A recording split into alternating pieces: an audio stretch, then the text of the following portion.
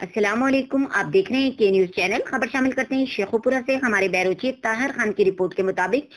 मुरीद के नंगल सांधा से लोगों ने कोरोना वेलफेयर माजूर बच्चों के नाम से पैसे बटोरने वाली जाली महकमा सेहत टीम का पाँच अफराद ग्रुप पकड़ लिया। नौसरबाज अपने आप को सरकारी मुलाजिम कहते हैं और महकमा सेहत की जाली कार्ड भी बना रखे हैं।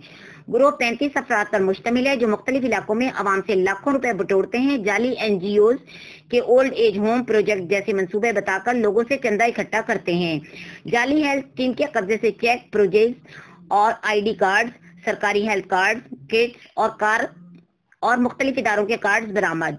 जाली हेल्थ टीम के नाम मोहम्मद रियाज, मियाँ असगर, मियाँ तारिक महमूद, खुशी मोहम्मद और मियाँ नौमान हैं।